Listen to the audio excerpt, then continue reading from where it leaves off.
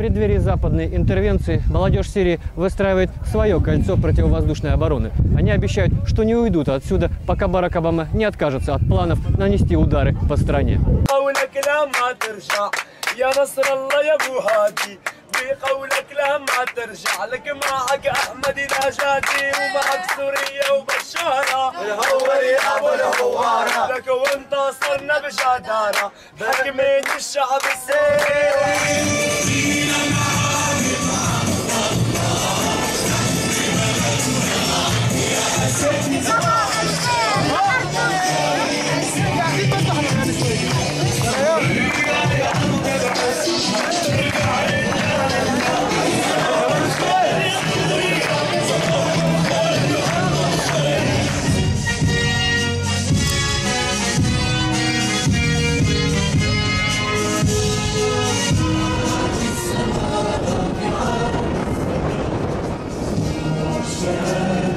Ooh.